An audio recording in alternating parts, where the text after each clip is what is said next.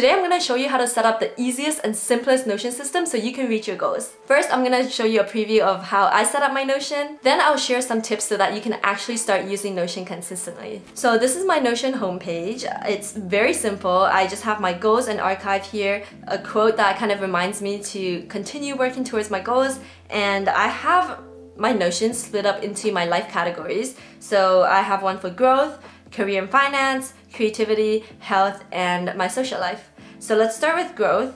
For growth, the way I formatted this page was all the important things and things that I look at often are on the very top and I have a divider in the middle and some categories. It can be very simple. I use a lot of subpages to keep things clean.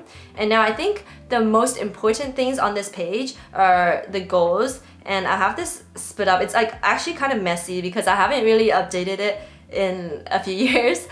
But I think that's an important message because it's okay for your pages to be messy. Like for example, if I have a bunch of messy docs, I'll still put them in there and just put them in subpages like with my archive. Anything that I don't really use anymore and don't find useful but I don't want to delete, I just drag it to my archive here. Back to my goals. So you can see it's just like kind of chaotic but I think one page that you can start today and one page you can make is this ideal lifestyle mood board. So I actually even made them into my desktop background and I think one of my students for my life tracking course where I provide all these templates and teach all these concepts, she made it her phone background as well. But you can just do this on Notion and pull out some pictures from Google, Unsplash, Pinterest, and toss them in here. I went even further and categorized it into like the different categories of my life. Like my career, I put some pictures career related, my relationships, I put some pictures related to what I wanted in my relationships and so on. So that's one that you can make for yourself, the ideal lifestyle mood board. So now back to the growth page. The other important thing I would encourage you to do is the habits page. So my habits are kind of chaotic. I actually, I optimized it more in my course template where you just have to click a button and it allows you to do the reflections.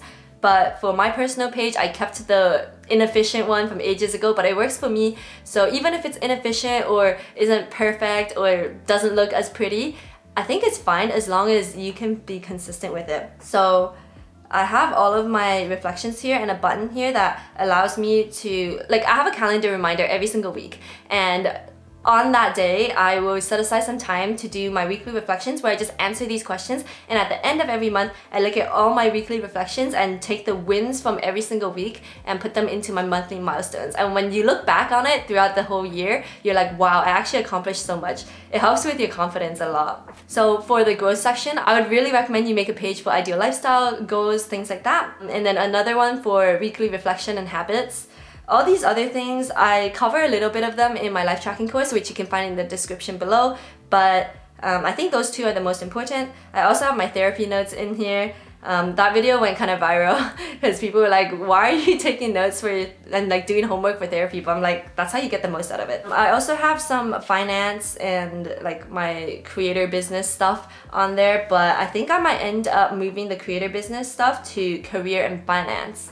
So, you know, again, your Notion system does not have to be perfect as long as it works for you. And things can change throughout the years because your life is gonna change. But just remember, it doesn't have to be perfect. As long as you continue making use of it and it's useful for your life, you can just make it whatever you want. So the next section here is career and finance.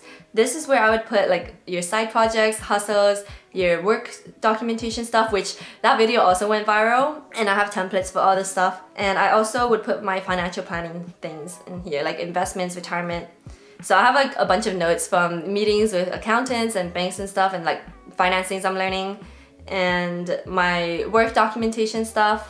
And I also link my creator business page on here.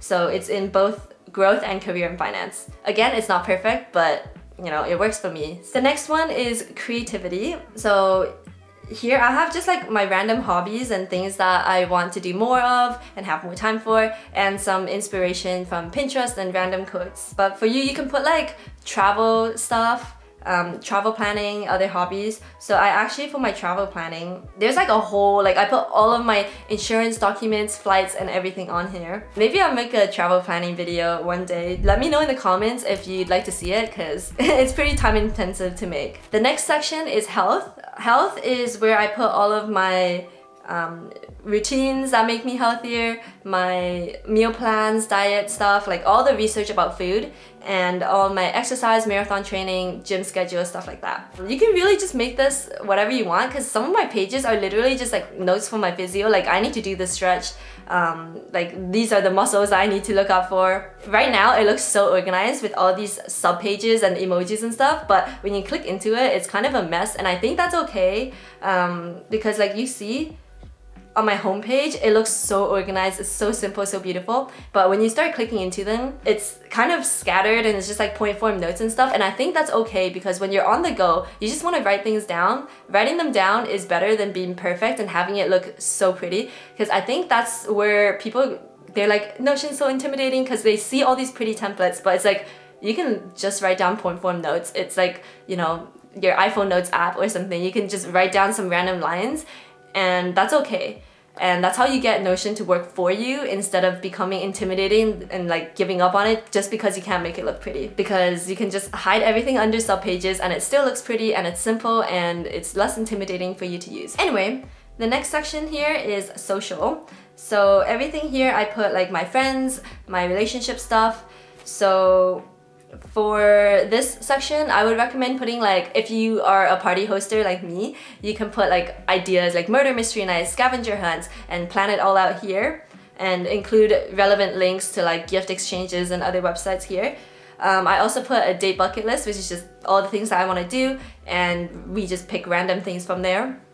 And you can also put all your research on stuff like um, family planning, children, etc. in the future if you choose to have some. Sometimes I do favors for friends and I'm like their reference for a bunch of things that they're trying out. So I just copy paste everything nice I write about them because um, I can write that somewhere else like a birthday card or like another reference for them. Now the key takeaways. So I think hopefully you understand the key message I'm trying to convey here which is it doesn't need to be perfect. You know, you should do things that make sense for you. Use my template here as a guideline, but you should make it work for you. If these categories make sense for you, that's great. If they don't, just make whatever categories make more sense for you. Maybe that's school and studying and that's your number one priority, so that's like a big block and then everything else fits under that. And then as you graduate, you can move stuff up to um, be your focus. And the other thing is you can archive stuff, so if things like you start a project and then it doesn't work out, you can just drag that into archive. If you want to keep all the documents